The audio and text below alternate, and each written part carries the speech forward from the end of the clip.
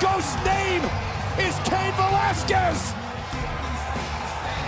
I have never seen fear on the face of Brock Lesnar. Cain Velasquez is the man who won the UFC Heavyweight Championship from Brock Lesnar. And Velasquez is here with Rey Mysterio, and he's marching right to the ring.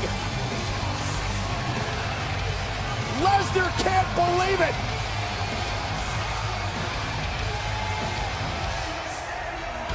Brock Lesnar is shocked.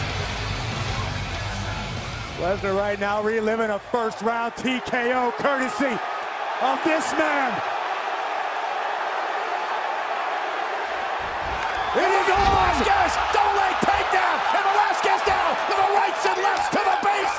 Lesnar just covering up.